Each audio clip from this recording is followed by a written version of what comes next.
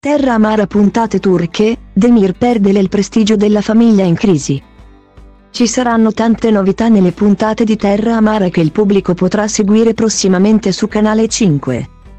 Le anticipazioni turche della SOP rivelano che la sconfitta di Demir Unkar alle elezioni per il presidente degli imprenditori di Kukurova metterà a rischio il prestigio della famiglia Yaman. Le anticipazioni di Terra Amara inerenti agli episodi che saranno trasmessi in Italia nelle prossime settimane riportano che Unkar, Vaide Percin, farà un nuovo sgambetto a suo figlio. Tutto inizierà quando la relazione tra la signora Yaman e Fekeli, Kerem Alisik, verrà resa pubblica tramite una soffiata anonima di Sermin, Sibel Tassioglu, alla stampa. In preda all'ira, Demir caccerà fuori di casa la madre perché non potrà tollerare che si sia innamorata dell'uomo che anni prima ha ucciso suo padre.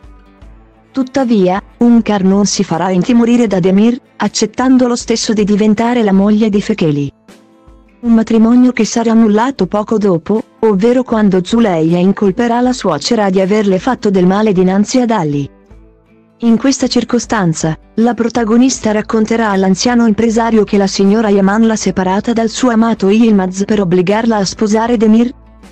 Nelle puntate turche di Terra Amara, Unkar farà ritorno a casa dopo le dimissioni di Aziz.